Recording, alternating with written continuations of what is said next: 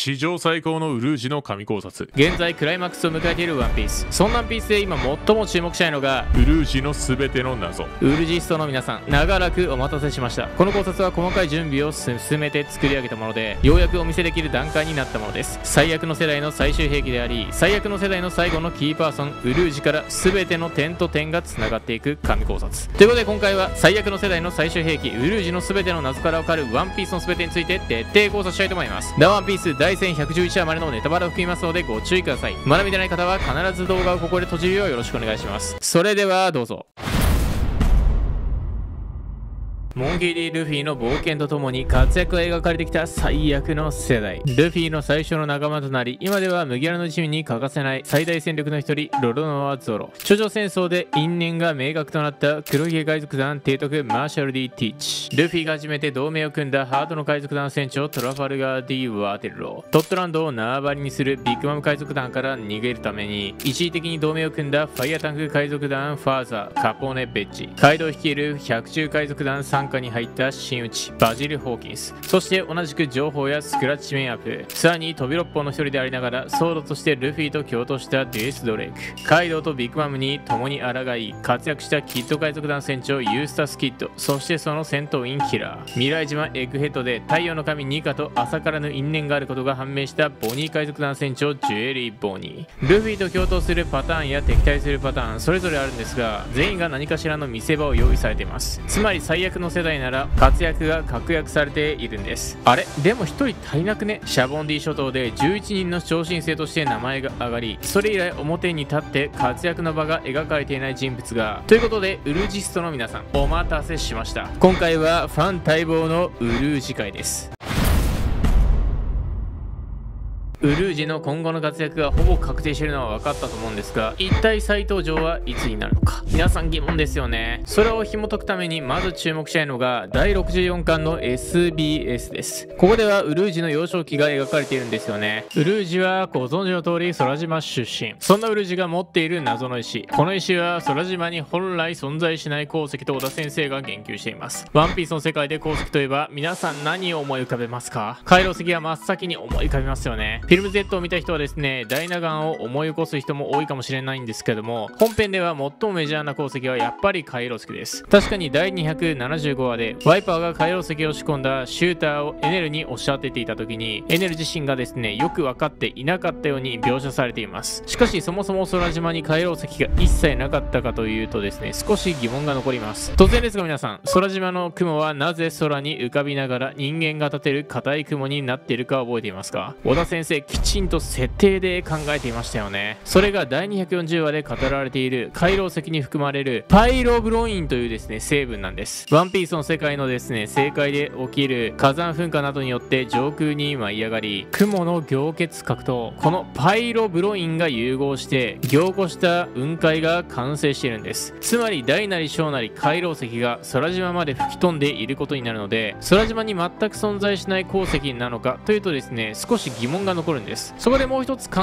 えられるのがエネルが目指したフェアリーバースつまり月についてです。月はご存知の通りその成分のほとんどは岩石ですよね。つまりですね鉱石が存在しているということです。月の石聞いたことがある人も多いと思います。月と空島の間には重要な関係性があることを小田先生は数々の描写で匂わせています。月にあった古代都市ビルカくも空島にビルカは存在しています。さらに空島には独自の技術で進化した技術が存在しています。ダイヤルやウェザリアの天候科学などがそうですよね。そして月には超科学がありました。そして月の壁画に描かれていた特徴と一致する空島の羽の生えた種族。挙げればキリがないほど月と空島には重大な関係があるんです。つまりウルージが幼少期に持っていた謎の石が回廊石ではなかった場合答えは月の石しか考えられません。そしてその意味はすなわち空島の重住民と月の民の関係がここでもつながってくることになるんです。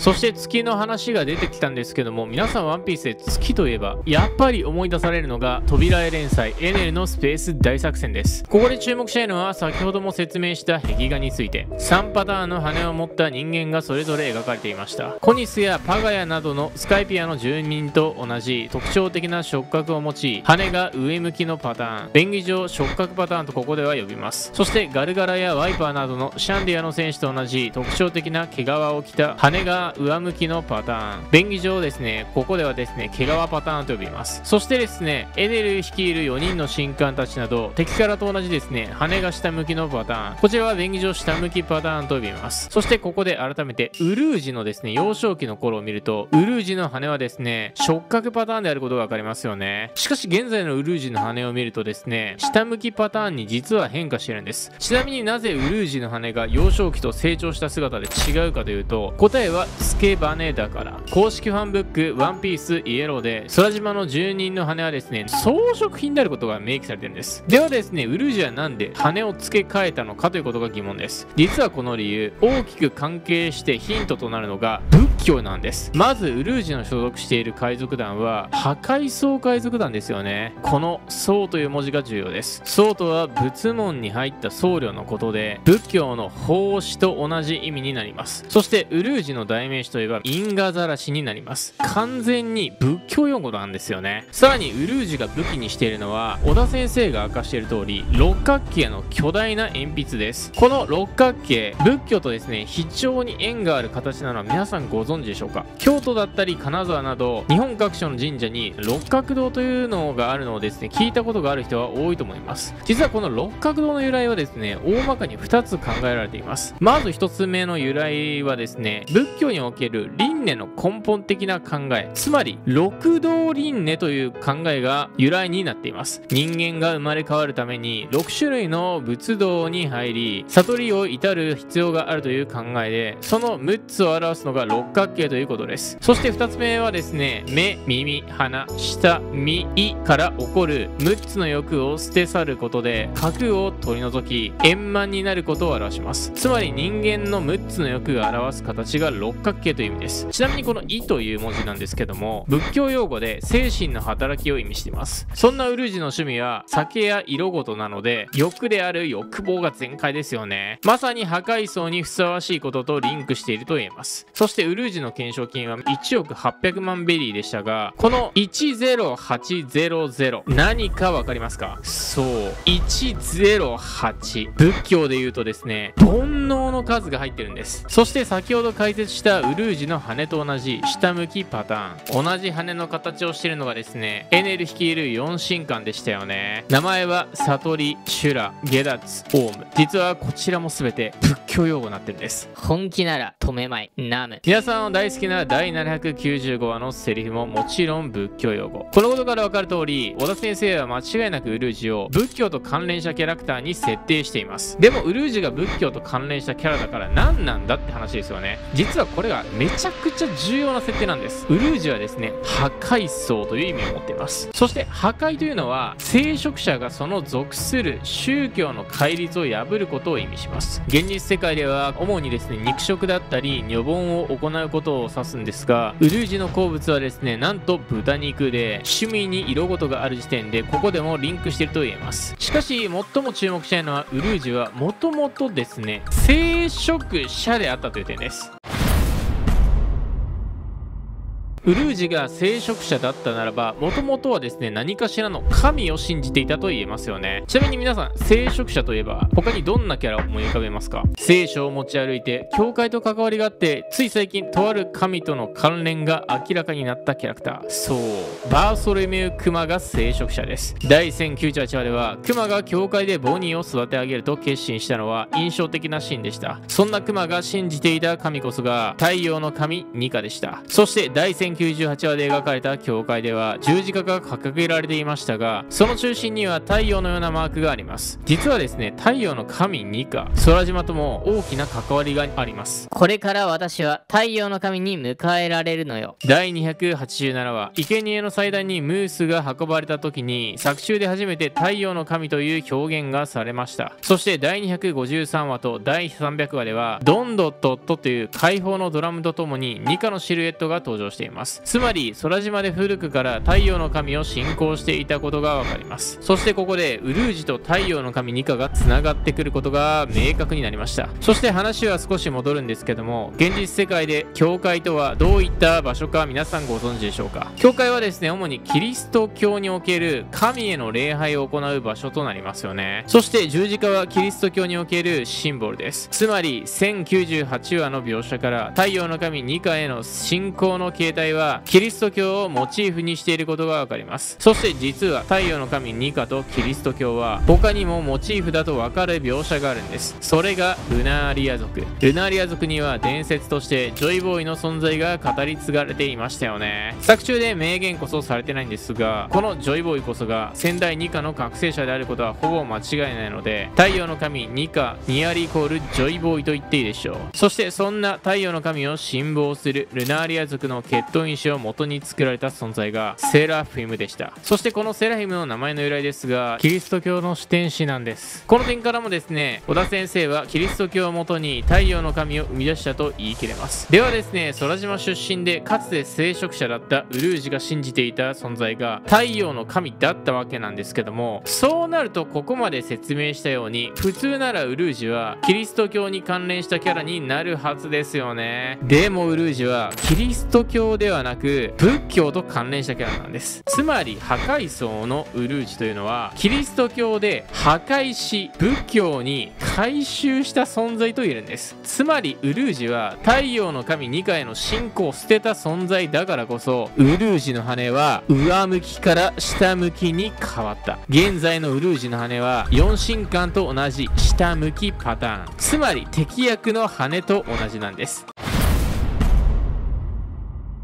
実はこの回収。小田先生がウルージのモチーフから持ってきた設定なのをご存知でしょうか？ウルージのモデルっていうのは第52巻の SBS で明かされている通りバルバロッサ・ウルージという海賊です。16世紀頃に地中海で活躍した実在の海賊。しかしこのバルバロッサ・ウルージ出身がギリシャでありキリスト教を信仰していたんですけども途中からイスラム教に改宗した海賊なんです。すごくわかりやすく言うとバルバロッサ・ウルージというのは信じる神をを変えているというんです。まさに作中のウルージと見事につながります。そして当時の地中海特にバルバロッサ・ウルージが活躍したエーゲ海ではオスマン帝国の占領下にありました。当然バルバロッサ・ウルージの故郷であるギリシャもオスマン帝国に支配されていました。さらにオスマン帝国の国境はイスラム教だったのでキリスト教とは敵対関係にあったんです。そしてオスマン帝国はキリスト教関係者の船への海賊行為を容認していて特にエーゲ海ではこういった理由から海賊に狙われるケースが多かった時代です。この構図ワンピースの世界にも当てはまりますよね。支配によって自らの信じる存在を変えていくこと。世界政府がニカやジョイボーイといった存在を必死にもみ消しているのと似ていると思いませんか？そして自分たちを信じる存在には慈悲を与えてるんです。つまりですね世界政府加盟国の住人は国民として認めても非加盟国の住人は天竜人による庇護が一切なく奴隷のような扱いが待ってるんです。ちなみにバルバロッサ・ウルージも反抗する人たちには残虐さを表したそうですが基本的には無益な殺傷は好まない人物だったそうで特に自分と同じイスラム教に改宗する者は擁護すらしたそうです。そして小田先生はワンピースの海賊のモチーフに実在の海賊の設定を落とし込んでいるケースが多いです。例えば以前別の動画でも紹介したアンボニー。もちろんジュエリーボニーのモデルですが上流階級出身の父と目がけの母を持つ異例の女海賊でした。天竜人の父とジニーという仮想の母を持つ境遇が見事に落とし込まれています。例えばフランシス・ドレイク。ルイス・ドレイクのモデルですが海賊をしつつ実は海軍提督だった異例の人物です。まさに作中のドレイクも最悪の世代に数えられる海賊でありながら海軍の騒動に所属しているという設定に落とし込まれているんです。つまり小田先生はウルージにもモデルとなった海賊の設定をきちんと落とし込んでいるはずなんです。では皆さんここで疑問を持った人も多いと思います。なんで小田先生ははイスラム教をモチーフにしたキャラではなくて仏教をモチーフにしたキャラにしたんだということです。答えとしては2つあります。まず1つ目がイスラム教の信仰する神とキリスト教の信仰する神は同じ神だからです。イスラム教ではアッラーキリスト教ではゴッドと呼び名は違うんですけども同じ唯一神を信仰しています。ちなみに余談ですがユダヤ教も同じ神を信仰していてヤハエと呼んでいます。つまりワンピースの世界に落とし込むと同じ太陽の神を信仰することとなって小田先生がエンタメとして分かりづらくなるから変えた可能性が高いですそして2つ目がワンピースにおける仏教は明確に小田先生の中でモチーフとした設定があるからです仏教にも神はもちろんいるんですけどもそれは因果の道理を教える存在で他の宗教や日本の神道などに伝わる神とは少し違いますむしろ仏教においてはこれらの神を理性で信じるのは難しくてむしろ神を信じていては不幸にになるとまで断言されている宗教では仏教における最終到達点とは何なのか。簡単に言うと悟りを開いて迷いの世界を離れた存在。お釈迦様に近づくこと。つまりですね仏になることと言われています。仏といえば海軍にいますよね。仏の戦国。そして世界政府のトップであるイム様もイトムをくっつければ漢字の仏ですよね。ワンピースの世界において太陽の神と相反する存在。こそが仏の戦国でありイム様なんです。だからこそウルージが太陽の神への信仰を捨てた結果たどり着く先が仏だったことになるんです。つまりここまで解説した通り空島出身のウルージ空島と月の関係羽の種類太陽の神2回の信仰仏教キャラウル